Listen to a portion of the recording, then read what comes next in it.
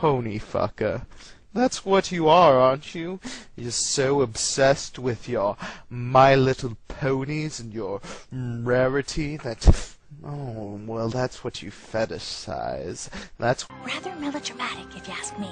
what you want. You want girls and boys who are, well, ponies. You just want them to eat your hay, and that is sick, friend. That is wrong.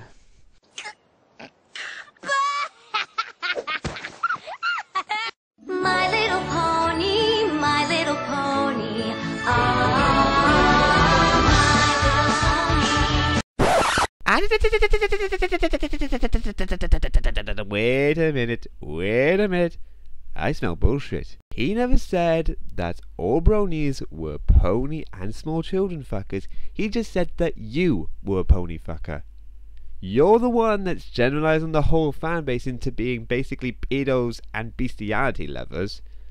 And you're the one calling him a sick fucko. Yeah, the worm has kind of turned around, matey, and it looks like that you are the sicko. Can't you see he's the man? Let me hear you applaud. He is more than a man, he's a shiny golden god.